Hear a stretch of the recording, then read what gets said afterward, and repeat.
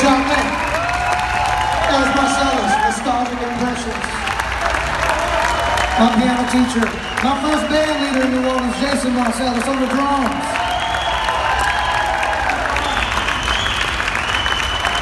Arranged by Derek Douget. Derek has been playing with Ellis for over 20 years. Probably besides Jason, the longest standing member in that group.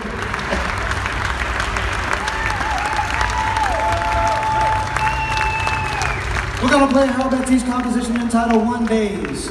This